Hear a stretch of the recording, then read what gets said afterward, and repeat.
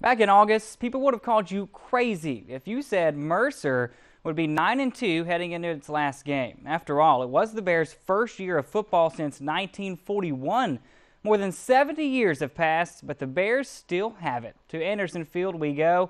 Homecoming, standing room only. The Bears trying to become the first startup program in D1 history to get 10 wins. First quarter, they're up 17-7, but Stetson threatening Ryan Tintler to Nick LaSala on the fade and it was 17 to 14 heading into the half. But Mercer blew it open in the second half, starting with this. Jatari Donald with the catch in the flats, and he is going to do the rest. 49 yards all the way to the orange paint, and the Bears go up by 10. Later, John Russ, the quarterback, I said the quarterback. Watch him here. He breaks it loose, 52 yards for this one, and that put the Bears up 31 to 14 and they add 10 more. Mercer wins 41 to 14 and makes history with a 10 win season.